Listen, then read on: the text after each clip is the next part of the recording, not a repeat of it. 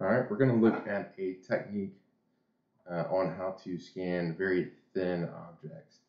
I've got my old license plate here, uh, no longer in use, but figured it'd be a good part to show how to scan a very thin object with the KScan 20 from Scantech.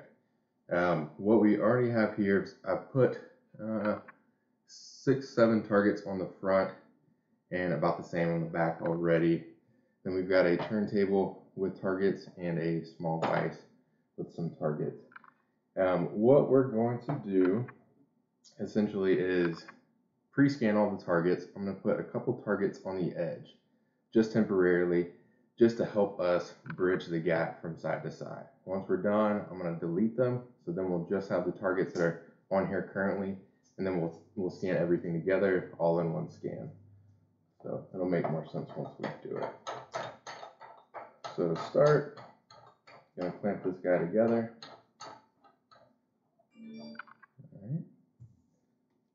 I'm going to take four targets, two on each side, just place truly just on the edge. Don't look kind of funny to start with, but these are just for alignment purposes.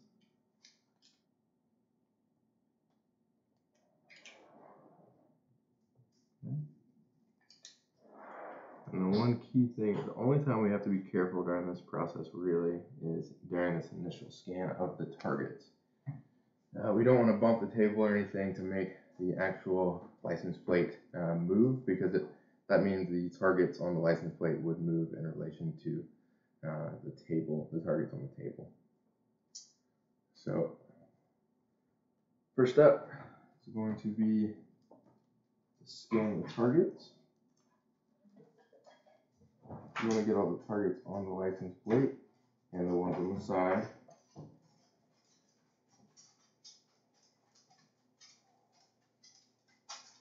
hit these from a lot of different angles for accuracy purposes.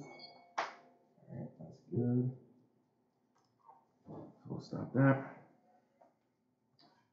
Again, this is the only step we really had to be careful of bumping anything for vibrations. So now we're good, we've got that. Um, general rule of thumb, when scanning the mark points, always run the optimize step. Um, and that will just do kind of a fine alignment of all those targets.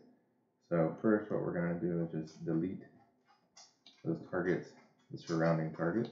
So from the base, that vise and the table, and then we're going to go in and delete these targets from the edge too. Because if we leave those, it will not capture any data on those edges.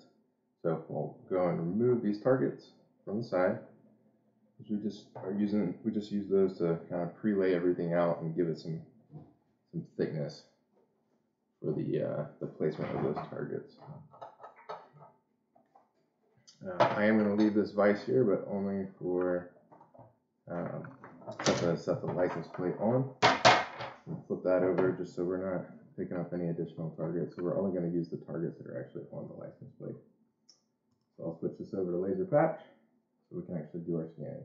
Currently I have the resolution set to 0.3 millimeter um, and that's to, to get decent definition on the edge. If you go a higher resolution, you'll get even better definition.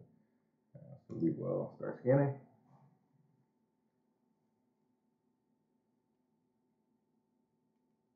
Zoom in.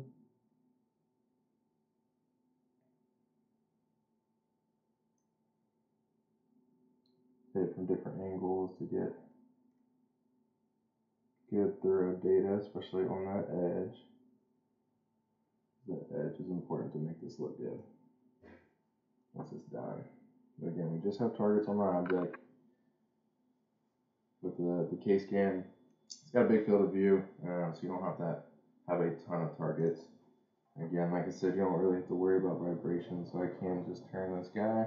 Technically, I could probably hold it in, in my hand, but it's just as easy. With the KScan, you need to see, it needs to see four targets at any time to keep positioning properly. Okay, so that we're probably getting close to being good. Go over just one more time just to make sure we got some good coverage all these edges.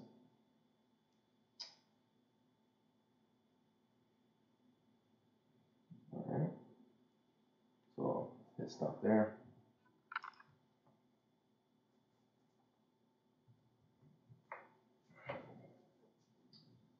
Alright, so real quick, once this is done doing the pre-process, we will do a little bit of cleanup, just remove the background, and then we'll flip the plate over. But it will be the same scan, so there's no alignment purposes. So we'll do disconnect the components, delete, run that one more time. It selects the, the plate, that's okay, we'll just reverse it. Delete everything else. So that's the raw data, looks, looks pretty good. Flip this guy over. And then jump back into scanning. So same scan project, we won't have to do any alignment. We will do a little bit of editing, again, just to delete the background for this second scan.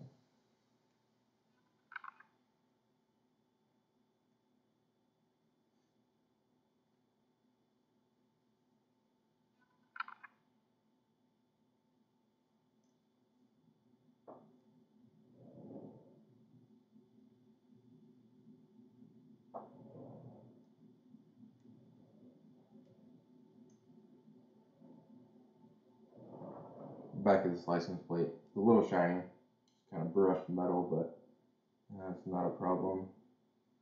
On the other side with the black letters, you may have noticed that it took a little bit more time for those black letters to come in. You could bump the exposure up a little bit to, to help those come in a little easier, but keeping the exposure down does keep the noise down as well. There's a little bit of a trade-off, but they come in just fine. Okay. So that's probably good there. So we'll stop.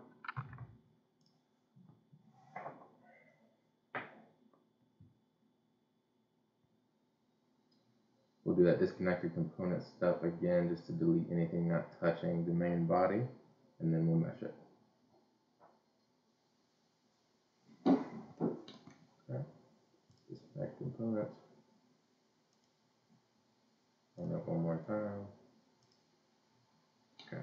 So now here's our raw data. Everything's already pre-aligned, so we already did that um, by scanning all those mark points first. So we'll come in here to the wrap step, hit OK, leave everything at default. It will fill those holes and mesh it. So this shouldn't take more than no more than 30 seconds or so.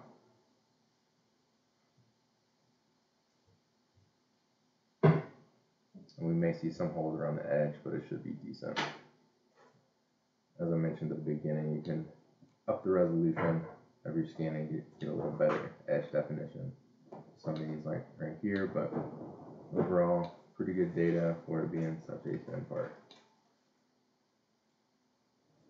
If you do want to come in and hole fill some of the edge stuff, come into mesh, hole fill, come in here, fix these guys as much as you want